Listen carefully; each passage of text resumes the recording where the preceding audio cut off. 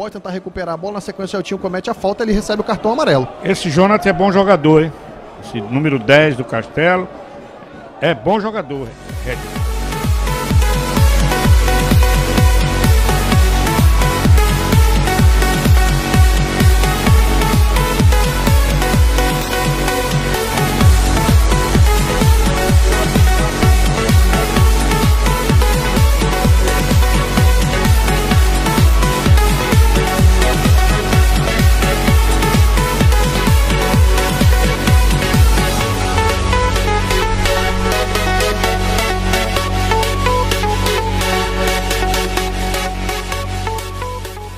Aí o Castelo vem para a cobrança da falta. O Jonathan vai fazer o levantamento de perna esquerda, bateu na direção do gol. Felipe deu um soco.